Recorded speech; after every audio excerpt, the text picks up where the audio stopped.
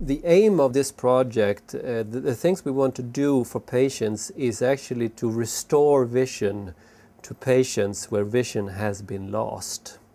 So if you have a retinal disease in which the photoreceptors have degenerated for one reason or another, your eyesight will be diminished. You can even go blind.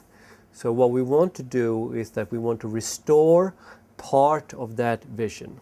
We've been working with retinal transplantation here in Lund for, I would say, almost 20 years now. Uh, so we've had a lot of experience on the biological side of of the problem and um, in the end, end 90s beginning 2000 we uh, had a breakthrough when we started to transplant retina as a whole sheet because what that gave us was a um, possibility of, of getting transplants that would survive for a long time and uh, that would also develop the cells we need, the photoreceptors, very nicely.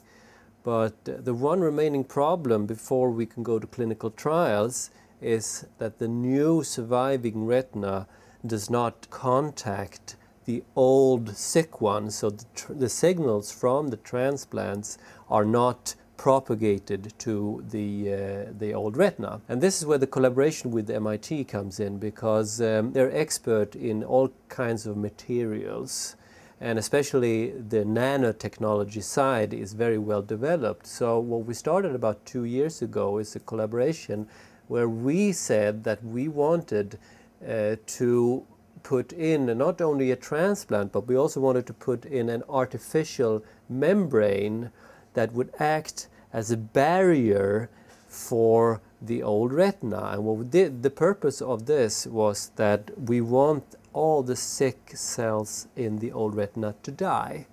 Then we have a better chance of integration of transplant and the, the old host retina. The collaboration is working very well. We've already publications out and um, this later this spring we'll do our first animal research with what we, which what we call the compound transplant. That's a transplant co composed of biological retina together with this the manufactured uh, nanotechnology membrane from MIT.